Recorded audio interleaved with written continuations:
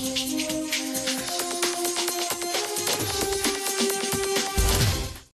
Sie suchen modernen Wohnraum im Lausitzer Seenland? Lebensräume Hoyerswerda. Individuell, freundlich und ideenreich. Mehr als gewohnt. Mit Fototapeten gelingt die perfekte Illusion an der Wand. Paradiesische Strand, moderne Designtapeten, ein Highlight für jedes Zimmer. Die passende Wohnung zur Tapete gibt es garantiert bei der Hoyerswerda Genossenschaft Lebensräume. Sie haben Interesse? Dann Telefon 03571 46 74 7011 und im Netz lebensräume-hy.de.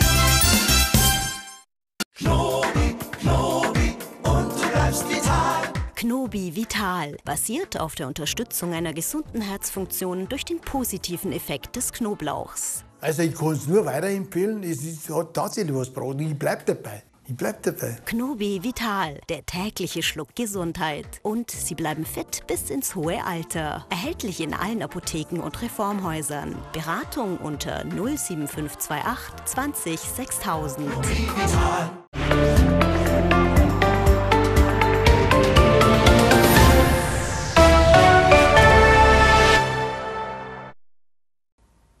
Hallo und herzlich willkommen zur Drehscheibe Lausitz vom 7. Mai.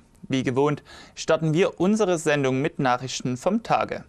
Der Kunstbus sollte in diesem Jahr durch den Norden des Landkreises Bautzen fahren. Doch auch dessen Planung wurde von der Corona-Krise durchkreuzt, wie meine Kollegin Vanessa Ulbricht zu berichten weiß. Wie so vieles kann in diesem Jahr auch der Kunstbus nicht an den Start gehen. Eigentlich sollte er am 4. und 5. Juli durch den Norden des Landkreises Bautzen rollen. Geplante Stationen waren unter anderem die Kulturkirche in der Gartenstadt Lauter, die Krabatmühle in Schwarzkolm sowie das Zuse Computermuseum und die Kulturfabrik Hoyerswerda. Das Highlight sollte jedoch die Eröffnung der Energiefabrik Knappenrode werden. Wir haben uns schweren Herzens für eine Verschiebung des Kunstbus entschieden, erklärt Uwe E. Nimmrichter, stellvertretender Vorstandsvorsitzender der Kunstinitiative im Friese. Die Nordtour soll nunmehr 2021 stattfinden. Am Standort Bautzen der Sächsischen Polizeihochschule läuft derzeit der Neubau der Pforte auf Hochtouren. Es handelt sich dabei um den ersten von zahlreichen bis 2024 geplanten Bauabschnitten. Bis dahin soll das Aus- und Weiterbildungsinstitut der sächsischen Polizei baulich und technisch auf den neuesten Stand gebracht werden. Bereits im Spätherbst 2018 waren nicht mehr benötigte Gebäude abgerissen worden. Im Mai 2019 erfolgte dann der erste Spatenstich. Mittlerweile sind knapp 9 Millionen Euro für das Großprojekt vom Sächsischen Landtag bewilligt worden. Insgesamt werden mehr als 100 Millionen Euro benötigt. Als nächstes soll eine neue Mensa errichtet werden. Außerdem entstehen auf dem Areal neue Unterkunftsgebäude, Trainingsräume sowie Sportanlagen. Auch der Hörsaal soll modernisiert werden. In der Nacht zu Freitag kommt es zu Fahrplanabweichungen im Streckennetz der Mitteldeutschen Regiobahn. Betroffen davon sind die Linie RB 33 Dresden-Königsbrück und die Linie RB 34 Dresden-Kamenz. Bei Abfahrten der Linie RB 33 von Königsbrück um 22.54 Uhr sowie von Dresden-Neustadt um 23.58 Uhr müssen an allen Zughaltepunkten im gesamten Streckenverlauf die Ankunfts- und Abfahrtszeiten nach hinten verlegt werden. Hintergrund der Fahrplanänderungen sind Bauarbeiten, teilt die Mitteldeutsche Regiobahn mit. Gleiches gilt auf der Strecke zwischen Dresden und Kamenz für die Abfahrten um 23.43 Uhr von Dresden Hauptbahnhof sowie morgen früh um 3.36 Uhr von Kamenz. Fahrgäste werden gebeten, sich über die relevanten Abweichungen und Änderungen durch die Aushangtafeln an den Bahnhöfen oder im Internet unter mitteldeutsche-regiobahn.de zu informieren. Im Sorbischen Museum Bautzen kann ab sofort die Sonderschau Ostern bei den Sorben besichtigt werden. Wie die Einrichtung dazu mitteilt, wartet auf die Besucher eine Präsentation zum regionalen Brauchtum von einst und heute. Als Besonderheit werden der Kreuzweg und weitere Gemälde des Künstlers Mario Oshika gezeigt. Zu sehen sind ebenfalls die Preisträgerkollektionen des diesjährigen Wettbewerbs um das schönste sorbische Osterei. Es können Besucher angemeldet werden, dies mindert Wartezeiten und Gruppenansammlungen, heißt es aus dem Haus. Weiterführende Informationen erhalten Interessierte auf den Internetseiten des Museums. Der touristische Informationspunkt am Stadthafen Senftenberg öffnet ab Samstag wieder regelmäßig an den Wochenenden. Im Mai allerdings verkürzt von Freitag bis Sonntag sowie Himmelfahrt von 13 bis 17 Uhr. Zusätzlich ist er am 18., 19. und 25. Mai von 10 bis 14 Uhr geöffnet, teilt der Tourismusverband Lausitzer Seenland mit. Zu Pfingsten macht zusätzlich auch das Hafenbüro von 10 bis 18 Uhr auf. Ab dem 15. Mai bis voraussichtlich Ende des Monats bleibt die Touristeninformation in der Innenstadt wegen des Umzugs geschlossen. Nach fünfmonatiger Umbauzeit kann die modernisierte Einrichtung am Senftenberger Marktplatz wieder bezogen werden. Die Neueröffnung folgt im Juni, so der Verband weiter. Detaillierte Informationen auch zu den Öffnungszeiten sind im Internet unter lausitzerseeland.de slash Touristeninformation zu finden. Wie fast alle Museen in Sachsen ist auch das Zuse Computermuseum in Hoyerswerda stark von der Corona-Pandemie betroffen. Seit Montag dürfen die Museen im Freistaat nun wieder öffnen.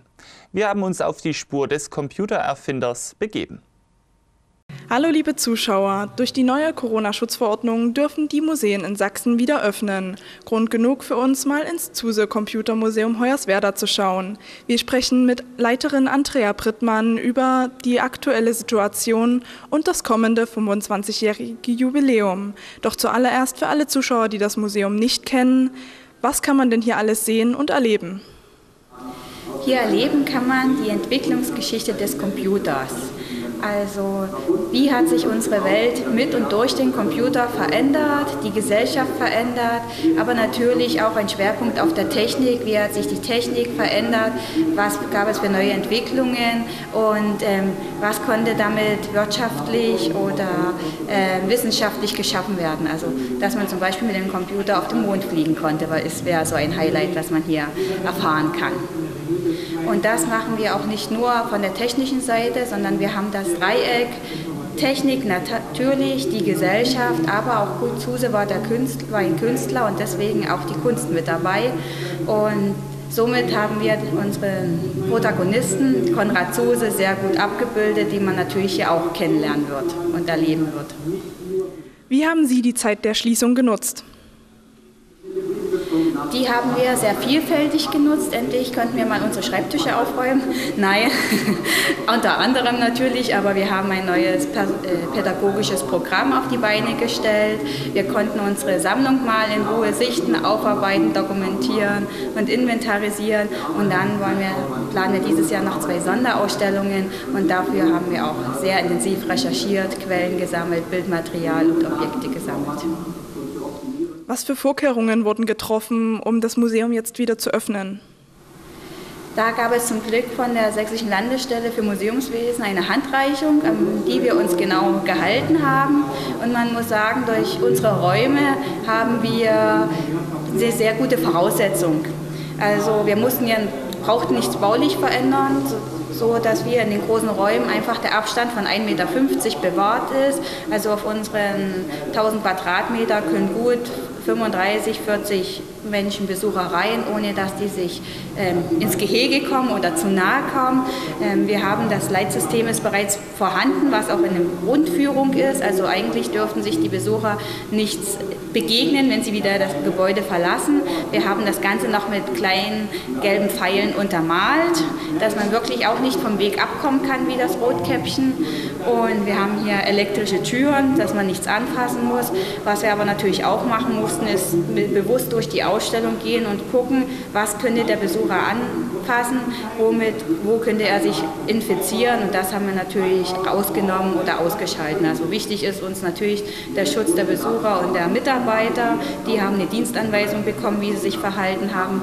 Auch die Aufsichten, die sich sonst immer im Hintergrund halten, weil der Besucher natürlich nicht mag, wenn man ihm beim Lesen über die Schulter äh, guckt, sind jetzt die äh, Wachhündchen, die hinterherlaufen sozusagen, um alles, was nochmal angefasst wurde, gleich ähm, zu putzen, weil wir zwar viel weggeräumt haben und auch zur Seite gestellt, aber wie zum Beispiel unsere Taktkurbel, das ist ein Plastikgriff, das kann man trotzdem noch benutzen und die wird sofort nach einer Benutzung gereinigt, wie das im Supermarkt mit den Einkaufswagen ist. So dass wir denken natürlich auch äh, Spuckschutz und Plakate auf Hinweis, zu Hinweis mit Abstand und Mundschutzmasken. Aber so haben wir, ich denke, alles gut erfüllt, dass man in Ruhe und gesund das Museum mit Spaß trotzdem besuchen kann. Und wir haben natürlich auch geguckt, wie können wir den Museumsbesuch trotzdem zum Erlebnis machen, auch wenn wir jetzt nur noch ein Museum zum Lesen und nicht mehr so zum Anfassen sind, wie wir es eigentlich vorher waren. Und da haben wir evaluiert, was ist bereits schon da, was kann man noch ein bisschen ausbauen und äh, kann ich empfehlen, unsere Museumsrallye ist ein kleines Heftchen äh, beim Service zu erwerben. Da kann man mit kleinen Aufgaben durch die Museum durch das Museum wandern und erfüllen. Und auch ganz interaktiv ist unsere Audioguide, unsere App Hörzuse. Die kann man sich schon zu Hause dann kostenlos runterladen im App Store, aber natürlich auch bei uns im freien WLAN. Und dann kann man per Schnitzeljagd das Museum entdecken und mit verschiedenen QR-Codes QR-Codes im ganzen Raum diese scannen und kleine Aufgaben lösen. Und dann kommt man wieder zum nächsten interessanten Themengebiet. Können sich die Besucher auf etwas Neues freuen? Natürlich sind wir da auch immer dran, die entspannenden Themen weiter aufzuarbeiten und zu bieten. Und zwar sind jetzt, man sieht schon leicht im Hintergrund, der Raum Memory ist neu. Daneben wird jetzt noch der Raum ähm, In- und Output geschaffen. Also wie arbeitet ein Computer, wie kommuniziert ein Computer mit dem Menschen und innerhalb der Maschine. Das wird es gerade noch in der Produktion. Es ist ein ähm, EU-Projekt mit einer deutsch-tschechischen Schulklasse. Auch wenn es gerade auf Eis liegt, werden also die Kommunikation mit den Schülern, aber wird der Raum intensiv weiter eingebaut, dass wenn die Schüler wieder ins Museum dürfen, sie dann auch den Raum erleben können, den sie selber ins, äh, produziert und sich erdacht haben. Es soll im Galeriebereich gibt es mal einen Wandel, da wird es eine neue Hängung geben und es wird noch zwei neue Sonderausstellungen dieses Jahr geben. Darauf können sich die Besucher freuen. Nun ist ja in diesem Jahr das 25-jährige Jubiläum. Wie sehen denn die Vorbereitungen dazu aus? Die Vorbereitungen sehen so aus, dass wir in, Hoffnung, in voller Hoffnung sind, das trotzdem feiern zu dürfen.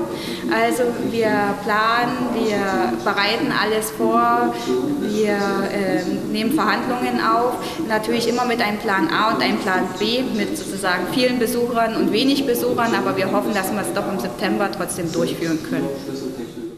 Was ist denn am Jubiläumswochenende alles geplant? Ähm, da sind drei große Höhepunkte geplant. Einmal wird es die vier Wochen vorher die Ausstellung 25 Jahre Computermuseum geben, wo es darum geht, zu zeigen, wie sich das Computermuseum in Hoyerswerda etabliert hat, wie unser rühriger Förderverein das aufgebaut und weiter gesammelt hat, so dass wir das jetzt zeigen können. Und das sind, was wir jetzt sind sozusagen. Und da gibt es am Freitag eine Vernissage, also eine kleine Feier, wo die Ausstellung zu Ende geht.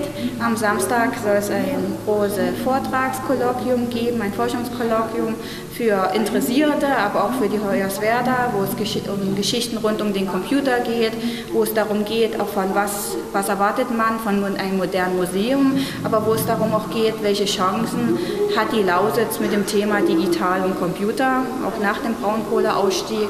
Also das sind so große Hauptthemen, die wir da vermitteln möchten. Und am Sonntag soll es ein Familienfest Alle Welt ins Museum geben, wo wir für Groß und Klein von Computerspiel-Contest bis doch Art Bastel Bastelstraße und ähm, Schmökerecke bis auch ähm, interaktive Stationen mit dem lebenden Museumskoffer hier geben soll. Was steht in diesem Jahr sonst noch alles auf dem Programm? Unsere zwei großen Sonderausstellungen, einmal zu 25 Jahre Konrad Zuse, aber wir haben ja auch das Jahr der Industriekultur und da, das möchten wir mit unterstützen und sind ja in, in ein Industriemuseum und da wird es ja nochmal zu dem Thema der Computer und die DDR sehr interessante Themen und Objekte dann im November hier geben. Dann vielen Dank für das Interview und viel Erfolg für das Museum. Wir sind an Heimatgeschichten interessiert. Gibt es in Ihrem Ort wichtige Ereignisse oder Persönlichkeiten, die in unseren historischen Kalenderblättern unbedingt erwähnt werden sollten? Dann schreiben Sie uns eine E-Mail an info@lausitzwelle.de. Wir haben jetzt noch einmal Neuigkeiten vom Tag sowie die aktuellen Neuerungen zur Corona-Krise in der Lausitz. Danach machen wir eine kurze Pause und anschließend blicken wir in den Polizeibericht aus Ostsachsen. Telefonbetrüger hatten am Dienstag keine Chance. Mehr dazu gleich. Ab Montag ist die Landkreisverwaltung Bautzen wieder für den Besucherverkehr geöffnet. Dies gilt für alle Ämter und Verwaltungsstandorte, heißt es dazu in einer Mitteilung des Landratsamtes. Ein Besuch ist allerdings nur nach vorheriger Absprache möglich. Die Terminvereinbarung kann telefonisch, per E-Mail oder mit einer Online-Anmeldung beim zuständigen Amt erfolgen. Damit soll vermieden werden, dass es zu größeren Ansammlungen von Besuchern kommt und sich Warteschlangen bilden. In den Gebäuden muss ein Mund-Nasenschutz getragen werden, heißt es dazu aus Bautzen weiter. Weitere Informationen sind im Internet unter landkreis-bautzen.de zu finden. Die historische Wassermühle im Panschwitz-Kuckauer Ortsteil Schweinerden wird zurzeit umfassend saniert. Dabei handelt es sich laut Regionalmanagement um eines der Vorzeigeprojekte in der Liederregion Oberlausitzer Heide- und Teichlandschaften. Die Mühle wurde um 1660 als Vorwerk des Klosters St. Marienstern errichtet und soll künftig als Wohnhaus dienen. Seit Anfang der 60er Jahre des 20. Jahrhunderts hatte das historisch bedeutsame Gemäuer leer gestanden und war immer mehr verfallen. Eine in Dresden lebende Familie erbte das Grundstück und entschied sich dafür, künftig hier leben zu wollen. Kommendem Montag öffnet der Kleiderfundus Bischofswerda wieder für Besucher. Das geht aus einer Mitteilung des Vereins hervor. In einem Notbetrieb werden die Öffnungszeiten so weit aufrechterhalten, dass die Ausleihe vorerst an zwei Terminen in der Woche möglich ist. Geöffnet ist dann Montag von 17 bis 18.30 Uhr und Freitag von 10 bis 12 Uhr. Kinobuchungen finden allerdings nach wie vor nicht statt, heißt es in der Mitteilung weiter. Ob die sogenannten Mitternachtsspitzen 2020 stattfinden können, ist derzeit ebenfalls offen. Ende des vergangenen Jahres hatte der Kleiderfundusverein angekündigt, das Konzept der beliebten Abendstadtführung ändern zu wollen. Weitere Informationen sind auf der Homepage unter kleiderfundus.com zu finden. Der Begriff Warteschlange bekommt in diesen Tagen eine zusätzliche Bedeutung. Nicht mehr nur Menschenansammlungen vor Fleischereien oder Baumärkten sind damit gemeint. Vielmehr gibt es jetzt auch Warteschlangen an Wegesrenten, beispielsweise am Auritzer Weg im Bautzener Osten. Dabei handelt es sich um aneinandergereihte, fantasievoll und bunt bemalte Steine. Sie sollen das Warten auf das Ende der Corona-Krise erleichtern. Die Initiatoren rufen jeden dazu auf, die Schlange mit eigenen Kreationen zu bereichern. Dazu genügt ein wenig handelsübliche Wasserfarbe, die mit Klarlack fixiert wird. Zum Redaktionsschluss heute 18 Uhr war folgender Stand bei den Corona-Infektionen in Ostsachsen und Südbrandenburg zu verzeichnen. Im Landkreis Bautzen sind insgesamt 383 Infizierte und damit neun weitere Neuerkrankungen seit gestern gemeldet. Von den Infizierten sind bereits 292 Personen wieder genesen. Derzeit sind im Landkreis somit 78 Personen nachweislich am Coronavirus erkrankt. Im Landkreis Görlitz gelten von den bisher 268 Infizierten aktuell 182 als geheilt. Im Kreis Oberspreewald-Lausitz ist kein Krankheitsfall neu aufgetreten. Aktuell wurden hier 43 Menschen infiziert, von denen bereits 35 wieder genesen sind. Im Landkreis Spree-Neiße ist ebenfalls kein weiterer Fall der Neuinfektion gemeldet worden. Hier haben sich bislang insgesamt 63 Menschen mit dem Coronavirus infiziert. 51 der Erkrankten Erkrankten sind allerdings schon wieder gesund.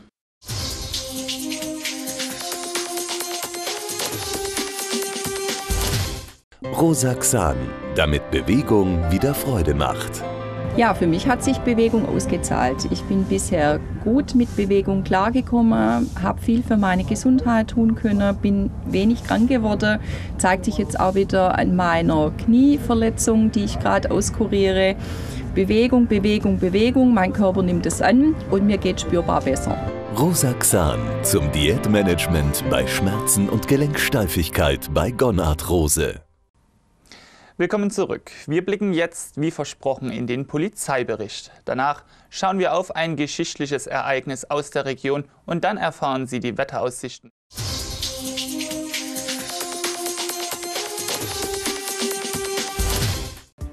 Am Dienstag ist es in Görlitz und Bad Muskau Telefonbetrügern aufgrund von misstrauischen Bürgern nicht gelungen, Beute zu machen. Am Vormittag erhielt ein 73-Jähriger an der Jauernicker Straße in Görlitz einen Anruf von einem Unbekannten mit ausländischem Akzent. Er gab sich als Mitarbeiter einer Berliner Security-Firma aus und teilte dem Senior mit, er habe 40.000 Euro gewonnen. Wenig später rief ein anderer Mann an, er forderte sein Opfer dazu auf, Google Play-Karten im Wert von 500 Euro zu erwerben. Das hat er nicht gemacht. An der August-Bebel-Straße in Bad Muskau haben Betrüger einer 78-Jährigen mitgeteilt, sie habe 3500 Euro gewonnen. Allerdings sollte auch sie, bevor sie ihren Gewinn erhielt, Gutscheinkarten im Wert von 900 Euro besorgen. Die Dame ging auch in einen entsprechenden Einkaufsmarkt, doch dort griff eine aufmerksame Mitarbeiterin ein, warnte die Seniorin und verhinderte so Schlimmeres. Am Dienstagabend hat es an der Bautzner Straße in Weißwasser einen Polizeieinsatz gegeben. Die Beamten trafen in einer Wohnung fünf Personen an.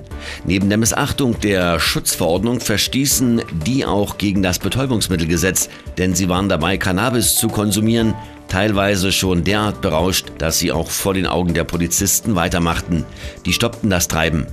In der Nacht dann trafen die Beamten in der Hegelpromenade erneut auf die jungen Männer aus der Wohnung.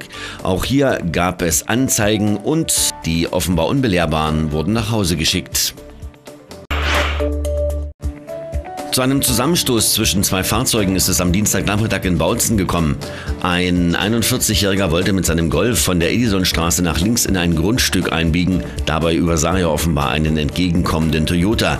Bei der Kollision wurde der Toyota-Fahrer verletzt. Rettungskräfte brachten ihn in ein Krankenhaus. Der Sachschaden betrug etwa 1000 Euro.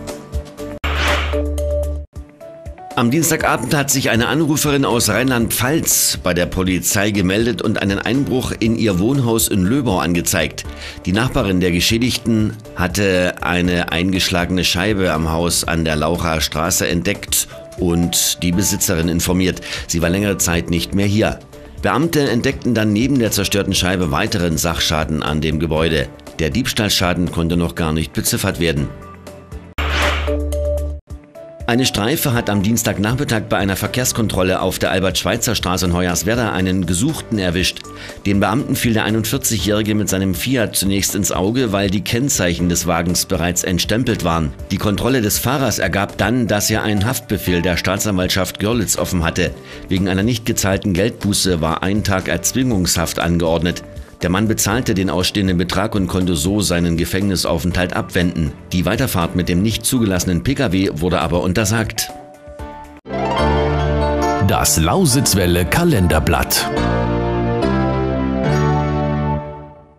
Am 7. Mai 1975 wurde Jekaterina Ponomajowa zur Ehrenbürgerin in Hoyerswerda ernannt.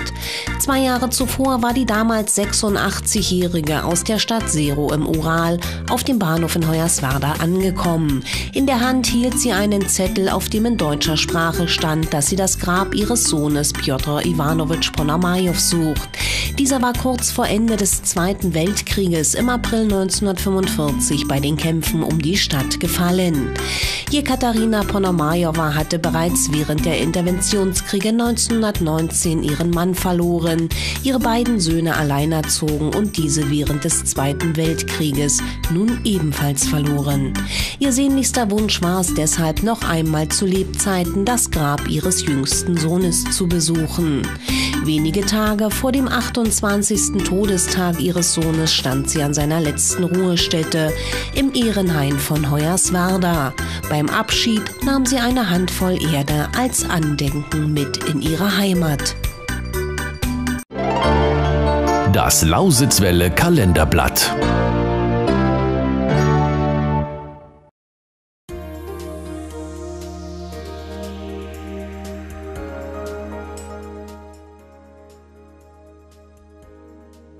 Sternenklar wird es in dieser Nacht sein, deshalb gehen die Tiefstwerte wieder bis auf 5 Grad in den Keller. Am Freitag wieder mehr Sonne, bei Höchstwerten schon bis 21 Grad. Der Samstag wird mit bis zu 24 Grad angenehm warm, dabei gibt es viel Sonne und nur wenig Wolken. Am Sonntag ziehen dann wieder etwas mehr Wolken auf und es wird langsam etwas kühler. 22 Grad maximal soll es am Sonntag warm werden. Das war die Drehscheibe Lausitz vom Donnerstag. Das gesamte Team wünscht Ihnen jetzt einen angenehmen Abend. Wir sind dann morgen wieder ab 18 Uhr für Sie da. Bis dahin, machen Sie es gut und bleiben Sie gesund.